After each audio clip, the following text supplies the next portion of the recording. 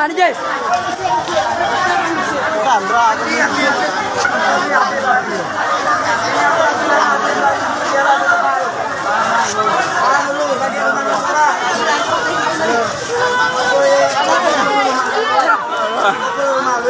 Ini sabar, Gampang tinggi.